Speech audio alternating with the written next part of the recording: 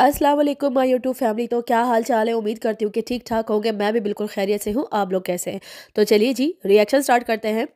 अभी कुछ देर पहले यहाँ पर अजगर की कम्युनिटी आई है। ज़ाहिर सी बात है कि उसके भाई पे अरबी पे केस हो गया है तो अजगर तो आएगा मैदान में, क्योंकि उसके अपने सपोर्टरों ने इतना ज़्यादा उसको ललकारा, इतने गद्दे गद्दे कमेंट्स किए। आज उनकी लाइवों में एक बवाल मचा हुआ था, क्योंकि अरबी के दोनों चैनल और उसका मोबाइल सरेंडर हो चुका है एफआईए में।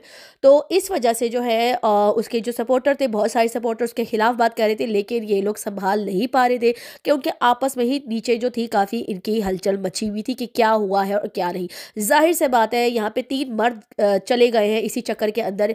एक के भी दो चैनल गए एक जो है वो दूसरे केस में अंदर चला गया चार पाँच महीने के लिए और अब बारी आई है अरबी की। ये कोई छोटी बात नहीं है कि किसी के चैनल सरेंडर हो और उसके बाद जो है उसको आ, उसकी आमदनी बंद हो जाती है उसका घर इसी चैनल से चलता है। क्योंकि ये चीज़ इनको पहले सोचनी चाहिए ना कि हम लोग YT पे आके ये गंद क्यों बचाते तो हेटर्स की लाइवों में तो इन चीज़ों के ऊपर हत्या ही बवाल मचा हुआ था कि भाई ये ऐसा क्यों हुआ?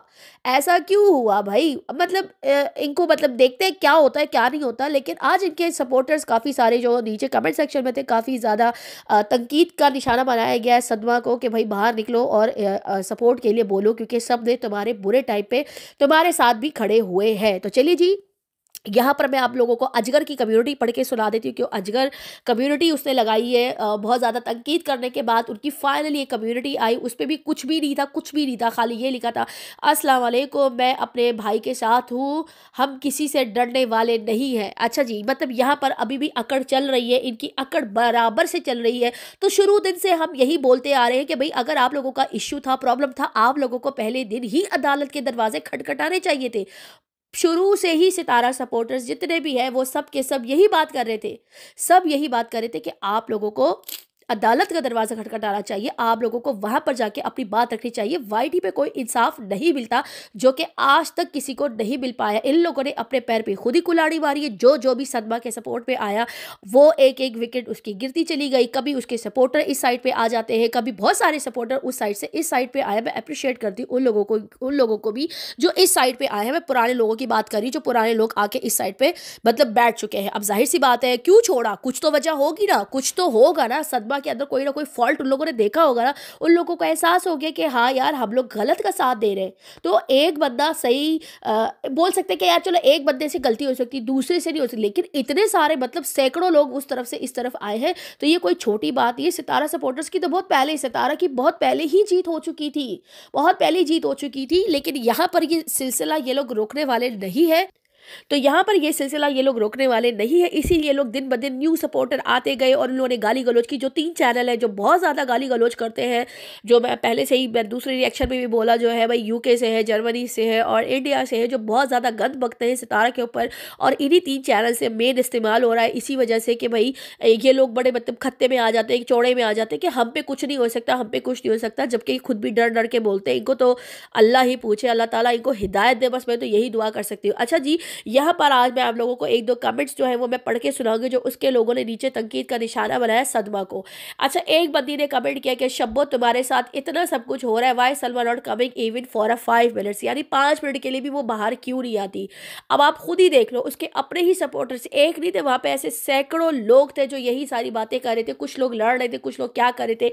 दूसरा यहाँ पर ये लोग खुद बोल रहे थे कि, भाई, आप लोग जो है अजगर को बाहर आना चाहिए। बहुत सारे लोग कह रहे थे, अजगर को बाहर आना चाहिए, अपने भाई के लिए खड़ा होना चाहिए। और बिल्कुल लाइवों में आने से अब कुछ नहीं होने वाला, तुम लाइवों में आओगे मतलब अपना बेड़ा घर करोगे, औरों का भी बेड़ा घर करोगे तो बेटर यही है कि पाकिस्तान जाओ और तुम पे जो केस हुआ है, अब उसके ऊपर लड़ो जाके। भाई, हमारी तो दिली ख्वाहिश है कि तुम पाकिस्तान जाओ और अब तुम्हारे ऊपर भी इसी तरीके से केस ठुकवाया जाए, क्योंकि तुमने अरबी के चैनल पर तुमने आके भोगा तो केस तो तुम पे भी बनता है। चैनल तो तुम्हारी बीवी के भी सरेंडर होंगे ना। तुम लोगों के भी सरेंडर होंगे, तुम लोग जो घटिया पंथी करते हो लोगों की चैनल्स पे जा जाके और अपनी बीवी का चैनल तुम लोग सेव करते हो तो अभी तुम लोग को देखो तुम लोग के साथ और क्या क्या होता है। तो यहाँ पर एक बंदी ने ये भी कमेंट किया था, वो मैं आज आप लोगों को पढ़ के सुनाती हूँ, रुके कहा चला गया। अच्छा जी, एक ने ये कमेंट किया था कि सदमा को चाहिए कि किसी की मदद करे जो मुश्किल में हो, पहले सलमा थी। मतलब सदमा अगर आज कोई और है, सदमा को भी चाहिए कि वो आए और इनकी हर मुमकिन मदद करे। समझ आई आप लोगों को? यानी ऐसे लोग भी थे जो कमेंट कर रहे थे, जो बार बार यही बात कर रहे थे कि इसको अब आकर हमारे लिए भी बोलना चाहिए, ये बाहर क्यों नहीं आती है? क्योंकि उसने वाकई किसी के लिए कोई स्टैंड नहीं लिया है, वो कभी भी अपने सपोर्टरों को अप्रिशिएट नहीं करती। वो जब भी आती है मतलब पुराने लोगों की बात करी, उनको उन्होंने डिसोन कर दिया था, लेकिन ये जो बाद में जो पलटीबाजी इन्होंने बैठी, जो जर्मनी वाली थी, उसको इन्होंने ऑन किया था। गालियों की वजह से, क्योंकि उसने खुद बोला था कि मुझे ऑन करो, ये लोग मेरे पर केस नहीं कर सकते। ये अंदर से मुझे ये बात पता चली कि इसने जानबूझ के अपने आप को उसके मुँह से प्रमोट भी करवाया ताकि वो उसको प्रमोट भी करे और इसके लिए वो गद बैठ के बोलती रहे और वो बिल्कुल बोलती है।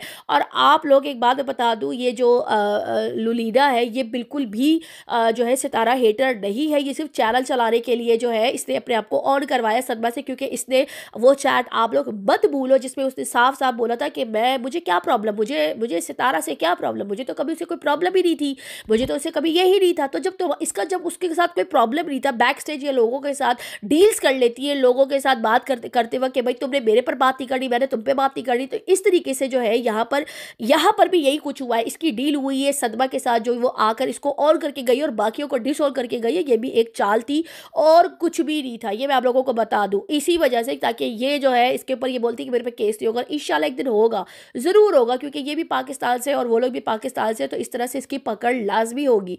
तो यहाँ पर जो है इन औरतों की वजह से तीन मर्द जो है वो बिल्कुल फाइनली वो ओके चैनल भी सरेंडर हो गए। मुझे नहीं पता कि इनके साथ आगे और क्या क्या होगा। इतना बुरा लोगों के साथ हो रहा है। उसके बाद भी ये लोग आके सीधा चौड़ा करके अपनी छाती पीट पीट के इतना ज़ोर ज़ोर से चिल्लाते कि ये हो गया, वो हो गया, ये हो गया, वो हो गया। मतलब क्या चाहते हो यार तुम लोग? इनके पास और कुछ भी नहीं है। एक एक हज़ार डेढ़ डेढ़ हज़ार चैनल वाली लेके बैठ गई है। भौंकना शुरू भौंकना शुरू। डेढ़ हज़ार, एक हज़ार चैनल वाली औरतों ने मिलकर जो है, जो ज़ाहिर सी बात है, डॉग के तीस हज़ार सब्सक्राइबर थे और उसके जो थे तीस हज़ार से खैर चौबीस पे आ गए। उसका चैनल सरेंडर करा दिया। फिर जो उसकी बीवी का चैनल था, जिसमें छः सात हज़ार थे शायद वो भी सरेंडर हो गया। ये कोई छोटी बात नहीं है भाई। और हाँ जी, ये जो अरबी साहब है, इनके भी दस, ग्यारह हज़ार है, वो भी सरेंडर हो गया। मतलब यार, ये लोग रुकने वाले नहीं है। ये गंदगी ये लोग कभी ख़त्म नहीं करेंगे। ये ये कल को तीन चली जाएगी तीन और आ जाएगी। इस तरह से करते करते ये माजरा इसी तरीके से चलता रहेगा। तो फाइनली इसका जो मेन जो पर्पस है जो है केस जब तक केस नहीं होंगे ना मतलब केस तो अल्हम्दुलिल्लाह हो रहे लेकिन मेरी दिली ख्वाहिश है कि भाई नागिन पे और जो चारुख है इसके ऊपर भी केस हो। मेरा मेन जो है आ, मैं चाहती हूँ कि इन लोगों के ऊपर भी केस हो क्योंकि यार गंदगी की शुरुआत इन्हीं दोनों ने की थी अगर हमें याद हो तो। हम इन दोनों को कैसे भूल सकते हैं? इस लड़ाई के जो दो मेन मोहरे थे, वो यही दो थे और इन जहाँ पे अरबी पे केस हो गया तो मैं चाहती हूँ कि ये नागिन और चारुख पे भी केस हो, क्योंकि इन लोगों ने आकर ये वाली बकवास करी थी कि भाई बाइक पे लेकर जाता था, लेकर आता था, फिर बाद में उस बात को डिसोन कर दिया था कि नहीं, वो मैंने ऐसे नहीं बोला था, ऐसे बोला था। तो मेन जो मेन कल्प्रिट है ना, जो मेन गुनहगार है, वो यही दोनों है, वो यही दोनों है, इन दोनों को पकड़ा जाए। जो मेन गुनागार है, वो है ये दोनों और इन दोनों के ऊपर भी केस होना चाहिए। ज़रा इनको भी पता चले, ज़रा इनके भी चैनल सरेंडर होना, इनको भी पता चले ना कि किसी को डी फेम करना, किसी को हरास करना और एक एक सितारा सपोर्टर को इसके हस्बैंड ने, नागिन के हस्बैंड ने हरास किया है हरास किया है। इसने कितने महीने तक मतलब हर बंदी को पकड़ पकड़ के इसने इसके ऊपर गंदी गंदी वीडियोस बनाई है। तो भाई मेरी तो दिली ख्वाहिश है कि इन दोनों पे भी केस हो। चारुख पे और नागिन पे। तो आ, मुझे बहुत सारे कमेंट्स भी आते हैं कि इन दोनों के ऊपर भी केस होना चाहिए। बिल्कुल होना चाहिए और हमें इस बात को रेस करना चाहिए। लेकिन पता है प्रॉब्लम क्या है? ये वो दोनों खामोश हो गए। प्रॉब्लम यहाँ पे ये है कि वो दोनों पीछे हट गए और इस बात को तकरीबन एक डेढ़ महीना दो महीने शायद हो गए। खामोश हो गए वो नहीं बोल रहे सितारा क्या गेस इसकी वजह से शायद लोगों ने छोड़ा हुआ है कि चलो यार हल्का हाथ रखो। तो यार वैसे सितारा सपोर्टर्स का दिल बड़ा सॉफ्ट है। मैं भी ऐसी हूँ कि भाई अगर कोई मुझे नहीं छेड़ता तो मैं नहीं छेड़ती। लेकिन अगर कोई बार बार मुझे पुकारता है मेरे मुल्क का नाम बिगाड़ता है और इसी तरीके से जैसे टट्टी को आप लोग देख लो, आज मैंने उसको इतना गंदा एक्सपोज किया, ये याद रखेगी।